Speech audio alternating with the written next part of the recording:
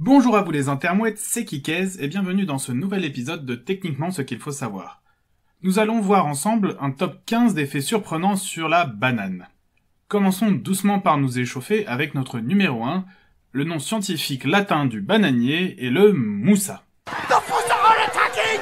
Numéro 2, la plupart des bananes que l'on trouve dans le commerce, et particulièrement en France, viennent des Antilles. D'autres viennent également d'Amérique du Sud, et pourtant la banane est originaire d'Asie.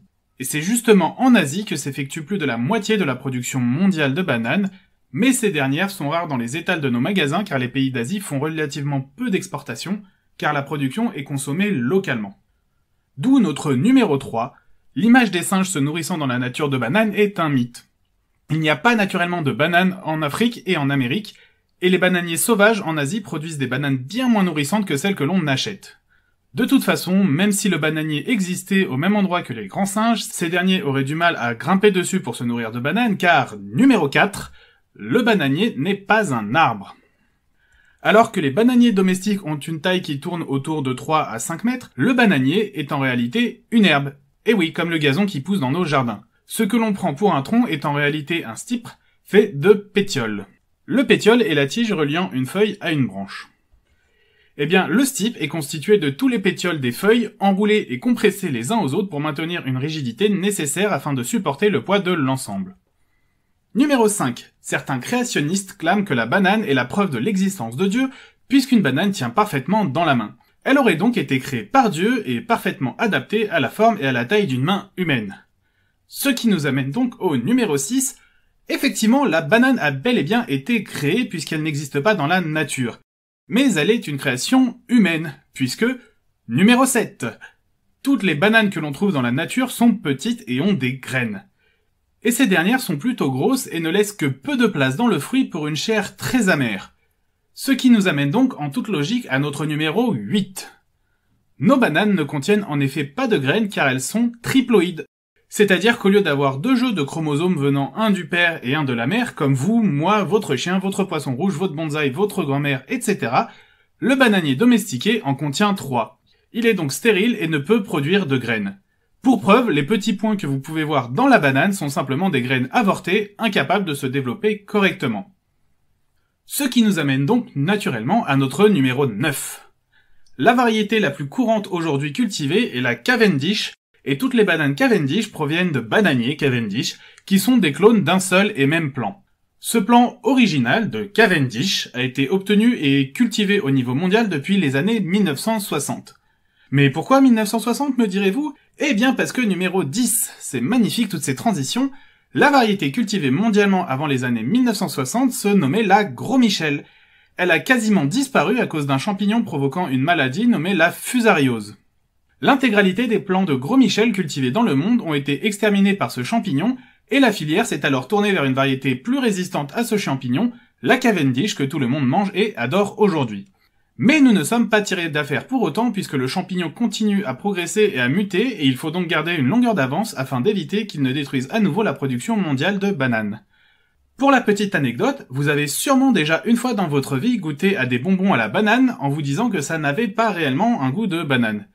Eh bien, sachez que vous avez presque raison.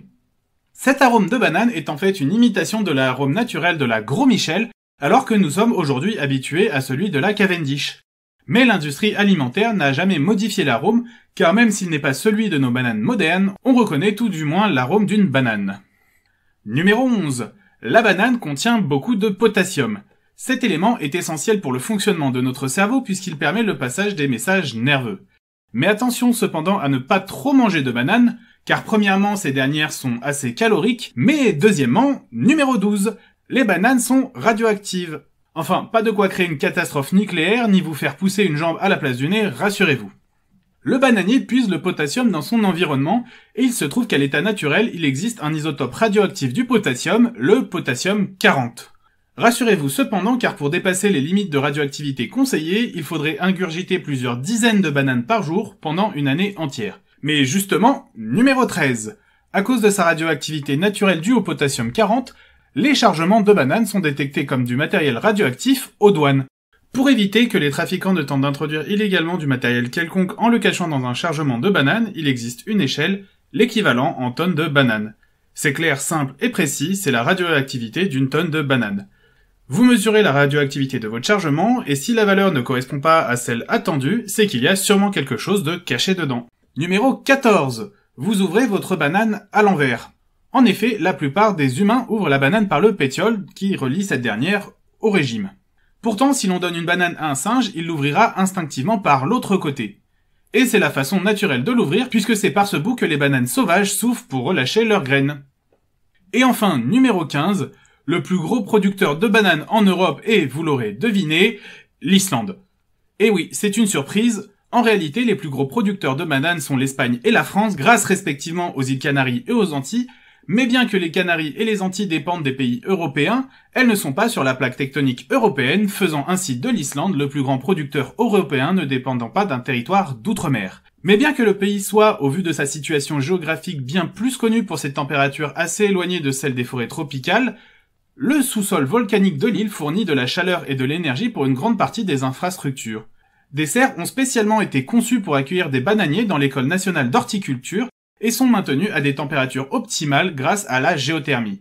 La production n'est toutefois pas très importante à cause de l'ensoleillement limité et atteint en moyenne 2 tonnes par an, et les bananes mettent environ 2 ans pour arriver à maturité contre quelques mois dans les pays tropicaux.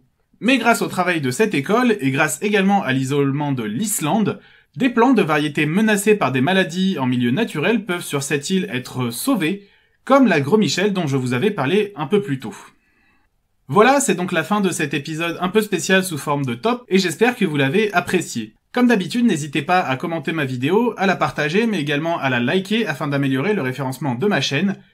Et comme d'habitude, je vous invite à vous abonner si ce n'est pas déjà fait, et vous pouvez bien sûr toujours m'écrire pour me proposer des sujets que vous aimeriez voir traités ici. Et je vous dis en tout cas à très bientôt pour un nouvel épisode de Techniquement ce qu'il faut savoir.